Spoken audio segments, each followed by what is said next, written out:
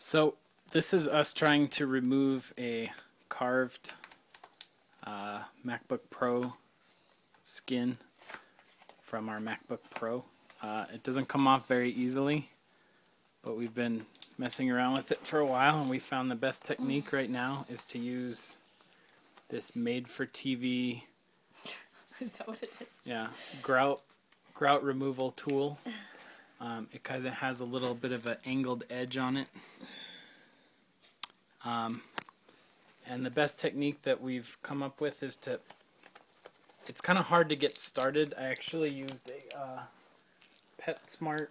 Uh, PetSmart Pet Pet Perks card to start it and kind of get it started on the edges. Um, but now what we're doing now that we got a grip on it which took a while now we're pulling it apart from the thing as we as we scrape across kind of down at an angle. Try not to slip and slice your wrist.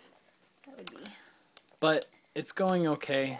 uh, it's a, going slow. It's probably taken us about to get it started about 30 45 minutes and then we've probably made about that much progress in the last 10 minutes so it's going a lot faster now. Um, so that's the best technique we've come up with so far. Hope this helps